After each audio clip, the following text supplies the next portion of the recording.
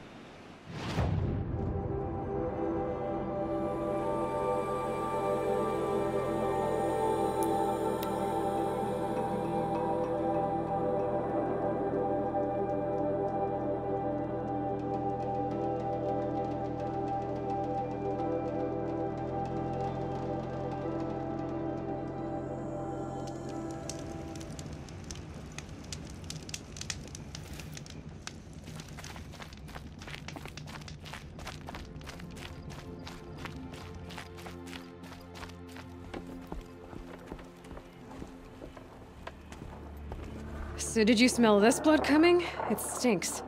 Uh, the richest is not always the sweetest, Huntress. In the jungles of the jewel, a fruit grows, but reeks of spoiled meat. Taste it, though, honey to the tongue. No. This is disgusting. These corruptors never belonged to the herds.